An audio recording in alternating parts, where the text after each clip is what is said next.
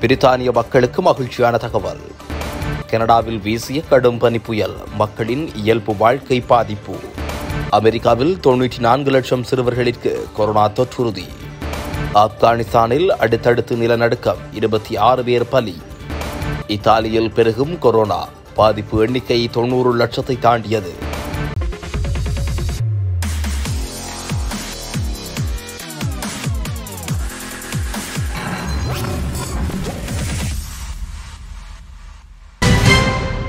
பிரித்தானியாவில் அமலிலுள்ள அனைத்து corona virus கட்டுப்பாடுகளும் நீக்கப்பட உள்ளதாக அந்நாட்டு ஊடகங்கள் தகவல் வெளியிட்டுள்ளன.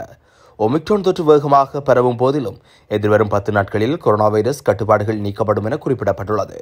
பிரித்தானிய அரசாங்கத்தின் மூத்த அதிகாரிகளை மேற்கோட்காட்டி இந்த செய்தி வெளியாகியுள்ளது.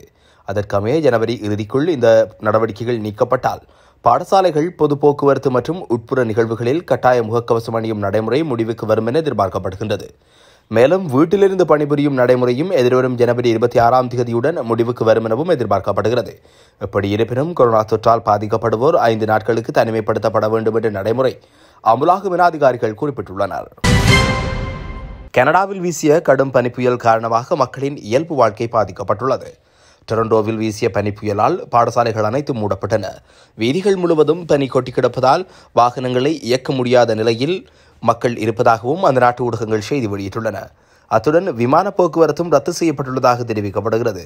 திடீரென உருவான பனி புயலால் வழக்கத்தை விட அதிகளவு பனி கொட்டியதாக டொரண்டோ மேயர் தெரிவித்துள்ளார். கொரோனா வைரஸ் தொற்று பரவல் ஆரம்பித்ததில் இருந்து அமெரிக்காவில் தொண்ணூற்றி நான்கு லட்சம் சிறுவர்களுக்கு தொற்று உறுதி செய்யப்பட்டுள்ளதாக அமெரிக்கன் அகாடமி மற்றும் குழந்தைகள் வைத்திய சங்கத்தின் சமீபத்திய அறிக்கை தெரிவித்துள்ளது. அதன்படி செவ்வாய்க்கிழமை வெளியிடப்பட்ட அறிக்கையின்படி ஜனவரி பதிமூன்றாம் தேதி வரை நாடு முழுவதும் மொத்தமாக பதினேழு புள்ளி எட்டு சதவிகிதத்தை பிரதிநிதித்துவப்படுத்தியுள்ளதாக தெரிவிக்கப்பட்டிருக்கிறது. அந்நாட்டின் மொத்த சனத்தொகையில் ஒரு லட்சம் சிறுவர்களில் பன்னிராயிரத்தி ஐநூற்றி ஐம்பத்தி ஒன்பது பேருக்கு தொற்று உறுதி செய்யப்பட்டிருப்பதாக குறித்த ஆய்வின் மூலமாக தெரிய வந்துள்ளது நேற்று முன்தினம் துர்க்மேனிஸ்தான் எல்லையிலுள்ள மேற்கு பட்கிஸ் மாகாணத்தில் பலத்த நிலநடுக்கம் ஏற்பட்டது. இந்த நிலநடுக்கம் ரிக்டர் அளவுகோலில் ஐந்து தசம் மூன்று புள்ளிகளாக பதிவானது. இந்த நிலநடுக்கத்தால் காதிஸ் மாவட்டத்தில் நூற்றுக்கணக்கான வீடுகள் இடிந்து தரைமட்டமாகியுள்ளன. இடிபாடுகளில் சிக்கி இருபத்தி ஆறு பேர் பரிதாரமாக உயிரிழந்துள்ளனர். அவர்களில் ஐந்து பேர் பெண்கள் நான்கு பேர் குழந்தைகள் ஆவர். இந்த நிலநடுக்கம் ஏற்பட்டு இரண்டு மணி நேரத்தில் அதே பகுதியில் மறுபடியும் ஒரு நிலநடுக்கம் ஏற்பட்டது. இது ரிக்டர் அளவுகோலில் நான்கு தசம் ஒன்பது புள்ளியாக பதிவானது. ஆப்கானிஸ்தான் அவசரகால விவகாரங்கள் துறை அமைச்சகம் இது பற்றி கருத்து தெரிவிக்கையில் நிலநடுக்கத்தால் மொத்தம் எழுநூறுக்கும் மேற்பட்ட வீடுகள் பெருத்த சேதமடைந்துள்ளன. இருபத்தி ஆறு பேர் இடுபாடுகளில் சிக்கி பலியாகியுள்ளனர் என தெரிவித்தது. முகிர் மாவட்டத்திலும் நிலநடுக்கத்தால் பெருத்த சேதம் ஏற்பட்டுள்ளதாக அங்கிருந்து வரும் தகவல்கள் கூறுகின்றன. சீனாவின் வுகான் நகரில் கண்டுபிடிக்கப்பட்ட கொரோனா வைரஸ் தற்போது உலகின் இருநூற்றி இருபதுக்கும் மேற்பட்ட நாடுகளுக்கு பரவி பெரும் மனித இழப்புகளை ஏற்படுத்தி வருகிறது.